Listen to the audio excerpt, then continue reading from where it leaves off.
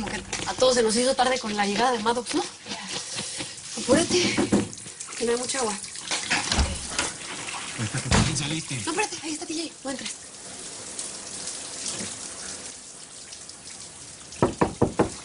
Ya voy, ya voy, aguántenme, ya casi salgo.